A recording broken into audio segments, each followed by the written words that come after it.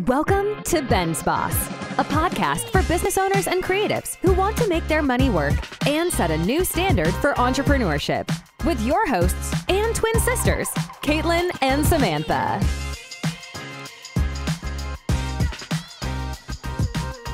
We are back with another podcast episode. Doo-doo-doo. What are we talking about today?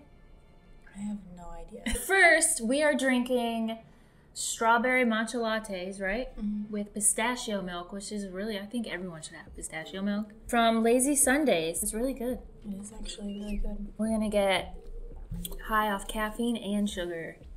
My two favorite things. Yep.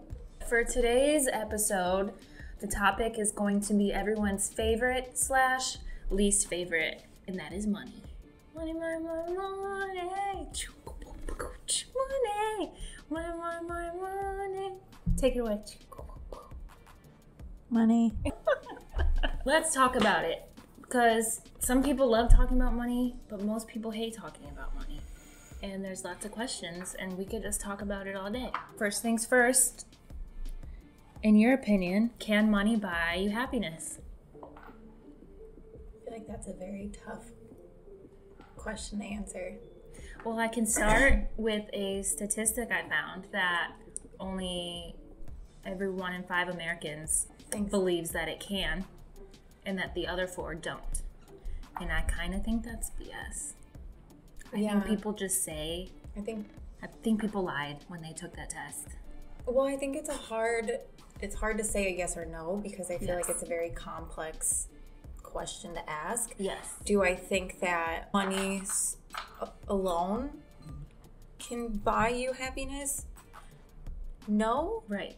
But at the same time, I think that the surplus of money that you have can kind of alleviate the stress Right. of your financial yeah.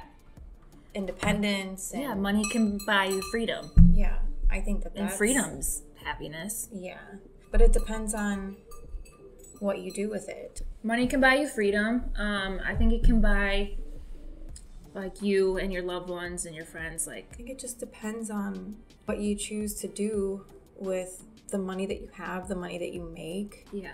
like there there was a book that i read that talked about being rich and being wealthy they're two very different things Yes. i think that there's so much more to life than it being black and white Yeah. and that goes with like everything And I don't think you should be ashamed to be like, money makes me happy. yeah You know? Because it's really just, you're talking about all the things associated with it.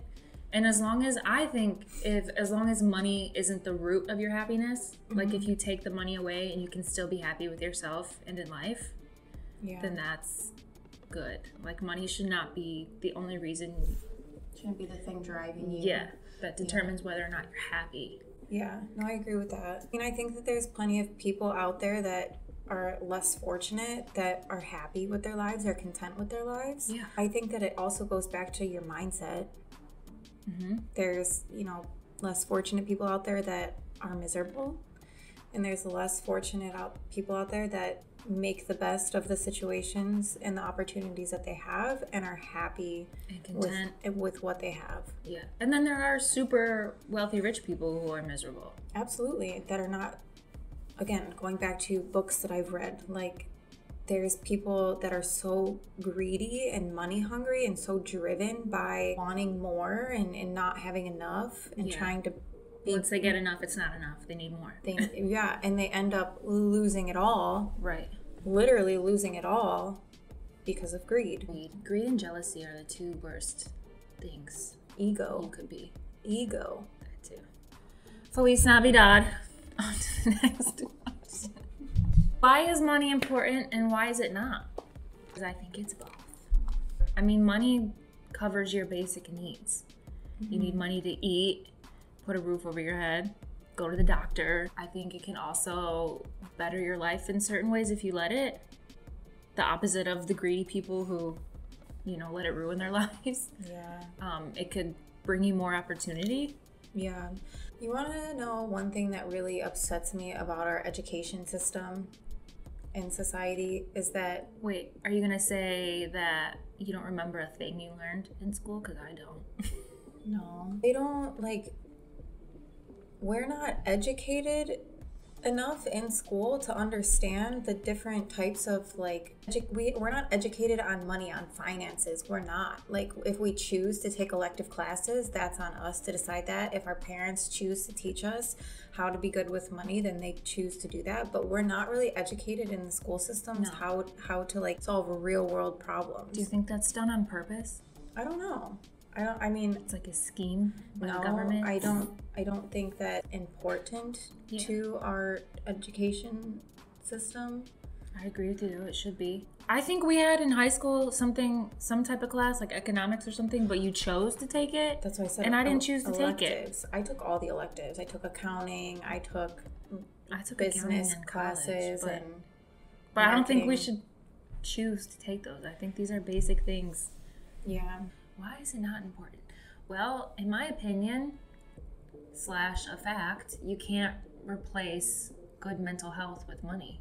You can't substitute like depression with money and I mean money can only be a distraction for you for so long if you're in a bad place. Yeah, everybody's perception of money and happiness is is all different, and Yeah. the world would not be what it is today if everybody's thought process and perception of things was the same. So there has to be people that are greedy. There has to be people that are less fortunate. There has to be, you know, the one percenters. There has to be, you know, people that are happy with what they have being at the, at the top and people that are happy with what they have being at the bottom. But I think the question is what brings them to that mindset?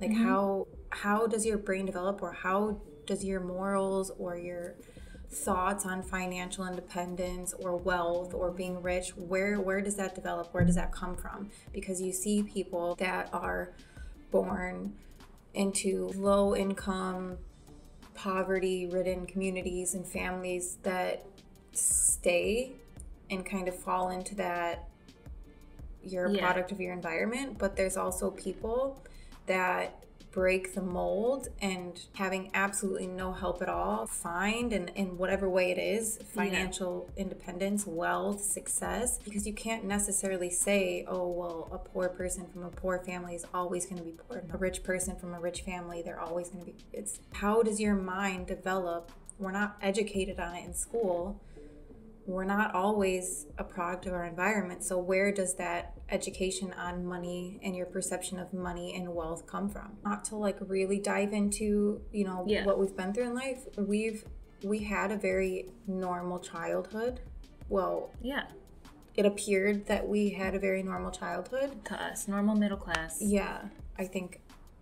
Yeah. upbringing Um, until but then we also saw things completely fall apart. We saw having absolutely nothing. We saw people being irresponsible. We saw that we had, it was kind of like, okay, well, if we kind of have to survive here. yeah. How are we going to survive? What are we talking about? I don't know. We always do that. But then we always bring it back. So I'm going to bring it back. Tell you a story.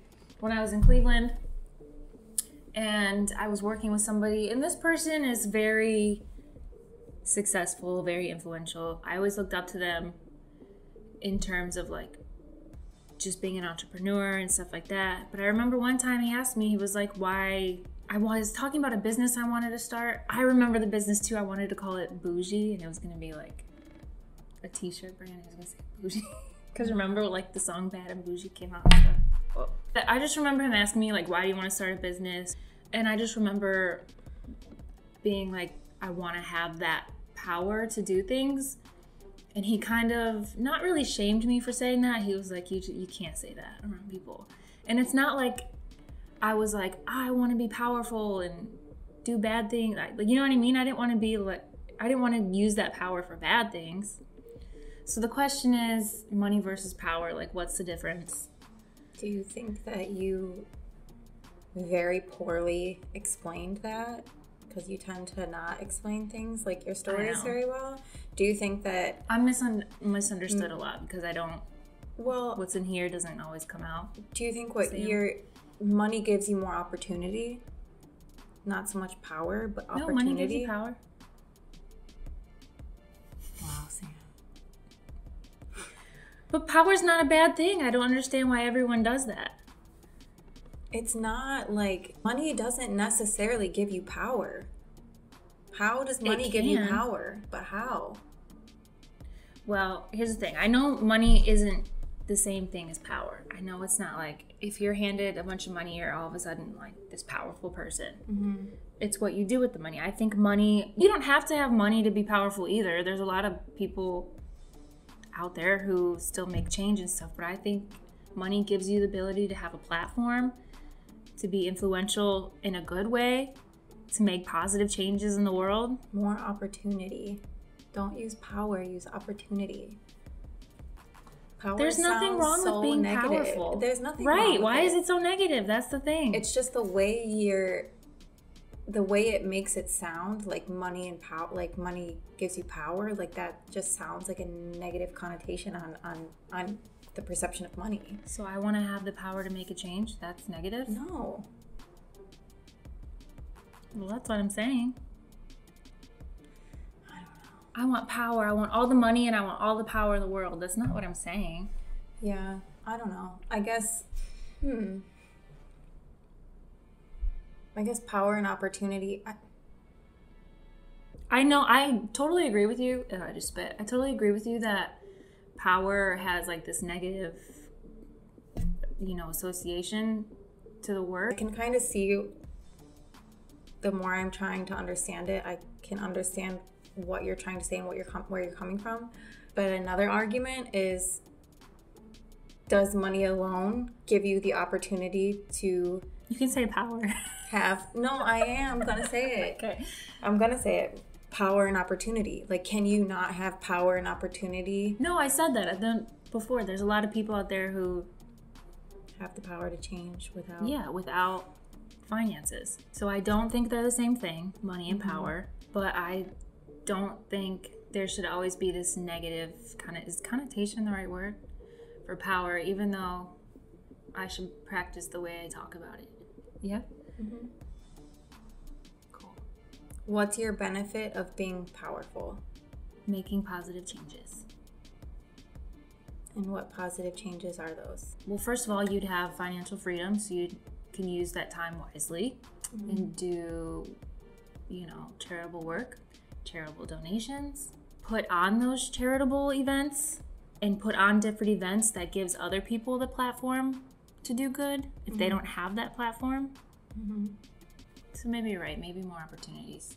But to me, if I were to look at somebody who does all that stuff, I'd be like, wow, that's a very powerful, influential person. Okay, maybe I just want to be influential. I don't know. I get what you're saying. Yeah. I think we both kind of have a different perspective on it after this conversation.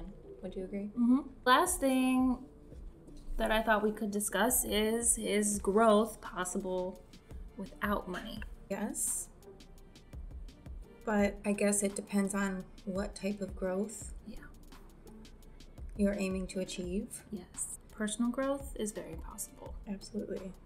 I think that there's a lot of growth that can be made without the benefit of, you know, money. Yes. And I also think that you can have growth in business in a career without your own. There's investors, there's opportunities to raise money, crowdfunding. Like, there's plenty of ways to raise capital. It's definitely the term growth is very broad in this question Yeah. because obviously I think personal growth you can grow without money. Businesses, yes, can grow without money. Um, like you said, because I was also going to say, I guess it kind of depends on, well, I don't know what your business is and what type of growth Yeah. in the business you're trying to create. Yeah, I think, but a lot of times I think people in business look at their finances, mm-hmm. and if they haven't made as much money as they thought or expected, or if they haven't reached their goal, they automatically assume the negative, like, I'm not growing as a business, but you are. Yeah. I mean, if more people know about you, you're out there, you're putting word about your business out there, networking and stuff like that, you can grow in that way. And kind of like you said, you can get investors and stuff too and grow without emptying your own pockets. There's also like growing as a society. Do you think you can grow as a society without money or It depends. Like, what in society are you trying to, you know? Yeah. I think people can come together without money, mm-hmm. but in order for like an economy to grow and stuff. Yeah, you need money for the economy. Yeah. And then people in society have to be order have to be have to be able to afford like healthcare and stuff like that. And if I don't know, I guess this could be like a whole separate episode. Yeah. I have one more thing for you, and it's a challenge. And it has nothing to do with money, but it's gonna cost money. you can tell me whether or not you want to do it. It's just something fun. For our next episode, in the time being, I'm thinking each one of us can go on Amazon and just find the most outrageous, ugliest thing to wear for the next episode. I think it'll be fun. It'll be a fun challenge. And then all 20 of our viewers can decide who won the ugly challenge. Do you want to do it? Sure. Okay, let's do it. Also, by the way, happy Leo season. Yep. Happy Leo season. Woo woo. It's our birthday in a few days. We're going to be 30. in One week. Yeah. Cool. All right. Well, thanks for listening slash watching, depending where you at. Um, like and subscribe and follow and comment and live life. Mm-hmm.